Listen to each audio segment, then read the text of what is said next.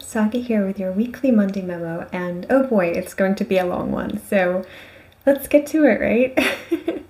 um, so, the first big thing to pay attention to is tomorrow. If you're watching this on the day of the upload, so Tuesday, the 25th.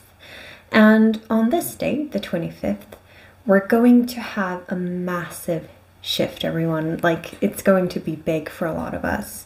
And it's because it's a new moon uh, in Scorpio of course, we just entered Scorpio season, um, and the new moon represents new beginnings. And you know, Scorpio is connected with truth, the subconscious, intuition, magic, um, fear, like our shadow selves. So it's going to be kind of intense. Um, it's going to be a good time to really connect with creating something new. Um, you know, moving away from old fears, um, connecting with your intuition, and letting whatever is hidden underneath, you know, all your subconscious desires and dreams come forward. And the peak times in local times is 3:48 a.m. in Los Angeles, 6:48 a.m. in New York, 11:48 a.m. in London, and 9:48 p.m. in Sydney, all the 25th. But that's not it. that's not everything. Uh, on the same day, we're going to have a partial solar eclipse that's going to be visible in Europe, Northern Africa, and Middle East, and western parts of Asia. Um, it begins around 8:58 a.m. GMT slash UT, um, and it's going to be at its greatest at 11:01 a.m. Same time zone, GMT UT Universal Time, and ends around 1 p.m. Same time zone. And this partial solar eclipse uh, not only takes place close to Venus, alongside, you know, the whole new moon, um, and we just had Venus be a star point, enter star point, uh, on the 22nd, which also means there's going to be a lot of love and abundance energy connected to all this. And on top of that, solar eclipses, any eclipse, is known as the Great Shift. You know, um, traditionally you might know of, you know, the old superstitions, if you will, with like big eclipses and stuff. It's often used in movies as, you know, the big time that you can open a gate and portal and all that stuff.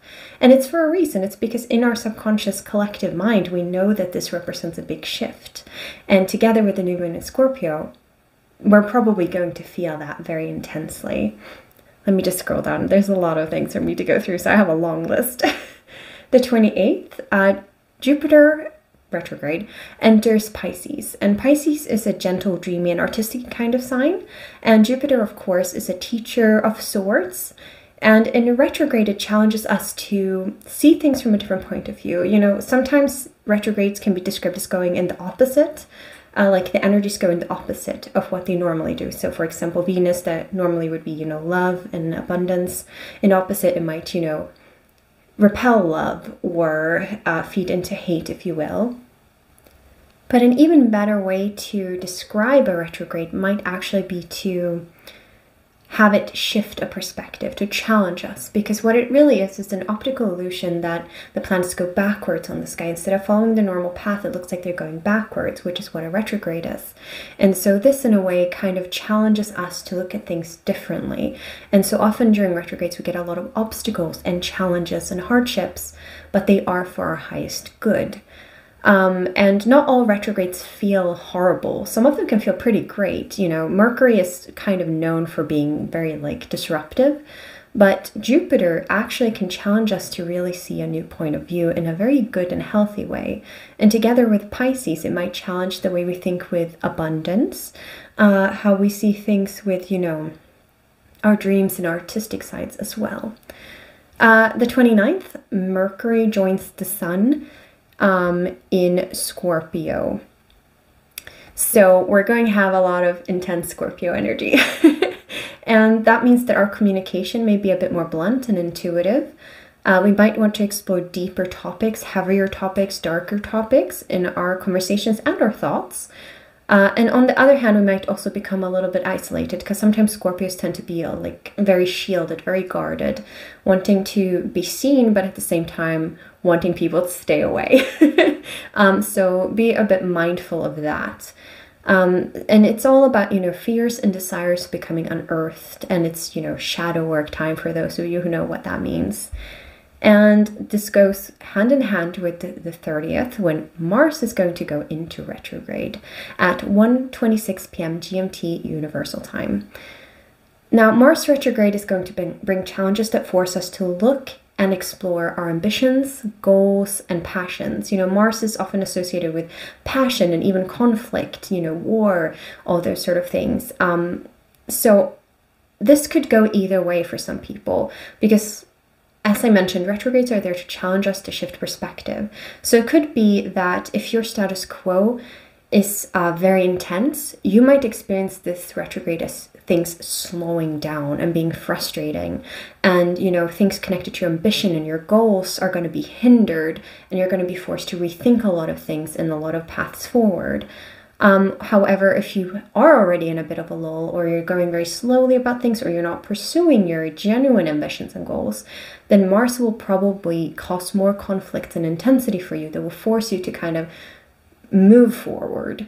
Um, either way, Mars retrograde tends to feel quite intense. It is an intense planet, it's intense energies, it's intense because it has a lot of things to do with things that are very important to us. So, you know, be aware of this, and as always, with any retrograde and any astrological energetic interference, if you will, um, as long as you always listen to yourself and try to move in alignment with your values, your truth, your authenticity, your goals in life, you should come out just fine. It's all about flowing and challenging and adapting because the challenges are for our highest good. Um, and there's also, I want to say a heads up because the 30th is also the day before the celebrations of Samhain. Um, generally, the celebrations begin the evening of the 31st and go into the 1st. Um, you know, more commonly, this is known as Halloween. It's not the same tradition. Not everyone celebrates Samhain. Uh, I'm a pagan, so it's important to me. Of course, depending on what sort of pagan you are, it might not be relevant. I also celebrate a more Norse specific holiday and such. Um, but a little reminder because, with other words, no matter which cultural label you place on that time of year, it's generally agreed upon that during this time of year, the veil is thinning, which means that for those of you who are very sensitive to spirits, um, human or non human, or energies, you know, empaths, are probably going to feel a lot of external influence during this time because the veil is thinning, meaning anyone uh, on the other side of the veil, you know, spirits and such, are going to feel way more present. They're going to be way more noticeable uh, which is why it's also called spooky season because a lot of people start picking up on that. Even people that aren't really into all that or in tune with all that might notice some things during this time. So, heads up for that with all this intensity. um, and of course, as usual, I drew a card for the week for those of you who feel it's for you. And it looks like this. And it's Fall into My Arms. Surrender, holding the opposite extremes of life. And this is such a beautiful and relevant card. And you can see almost in the art, it's like the astrological energies are flooding down into this person and they're just receiving it. And this is pretty much what I feel is the message for us this week collectively, no matter if you felt drawn to this card or not. It is a very intense week. There's going to maybe be a big shift for a lot of people. And with Scorpio, Scorpio can be like one of those things I, am intensely Scorpio in my sign, so I'm very familiar with the energy. And Scorpio can be one of those things that can be really, really growth inducing as an energy, but it can also be very, very intense and scary and, you know, very like dark and heavy stuff. Um, so consider this time a very good time to go inwards, to connect. Um, yeah, listen to your intuition and look over your goals and all that stuff, and things should be fine. And if you're feeling tired, or if you're having insomnia, or if it's going up and down, you know why. It's just ho holding on this week and flowing with the energies and trying to celebrate this beautiful cycle and fluctuation of energy that we get to experience, right? And with that, I wish you a beautiful day or night wherever you are. Um, if you're watching this on my YouTube channel, you should see a video possibly next week for my Monday memo. There might not be one before that because this is a very intense period for me.